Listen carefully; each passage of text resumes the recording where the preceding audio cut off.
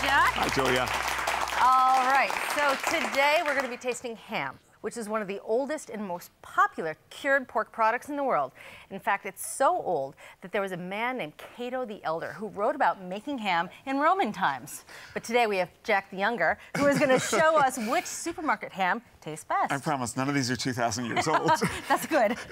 so why don't you start tasting? These are spiral sliced hams. Right. The audience, by the way, has already sampled these. They've already figured out which one is the best, and they agree with the expert panel and chose the winner. Mm, okay. These have already been smoked and cooked. You're really basically just warming the ham, and if it's already been sliced, you don't have any work to do.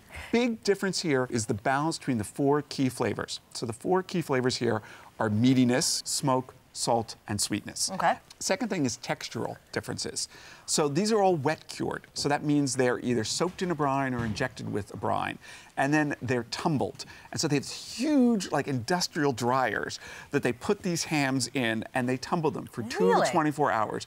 It's tenderizing the meat. Oh. And it's also working in the brine, but it also forces out liquid and it can make them dry. That was a big factor in our ratings.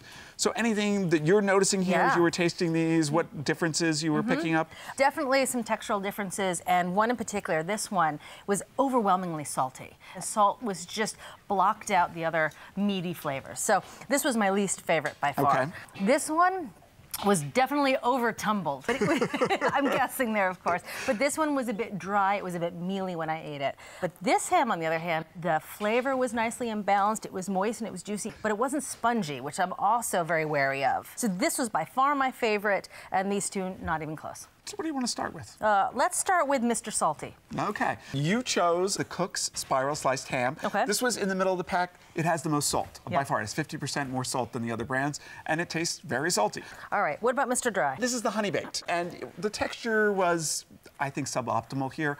Uh, this is also the sweetest ham, but people who love a really sweet ham gravitated to this despite the fact that it's a little drier. Okay, and this guy then? Julia chose the winner. All right. Uh, you agree with the studio audience. This is from North Carolina, Johnston County. We thought had the perfect balance of salt, smoke, uh, sweetness, and that porky deliciousness that makes ham such a great favorite. All right, so there you have it. The brand of ham really does make a difference. And for our money, well, we're going with Johnston County Spiral Sliced Ham. Thanks for watching Cook's Country from America's Test Kitchen. So what'd you think? Leave a comment and let us know which recipes you're excited to make, or just say hi. Now you can find links to today's recipes and reviews in the video description. And don't forget to subscribe to our channel. See you later. Alligator.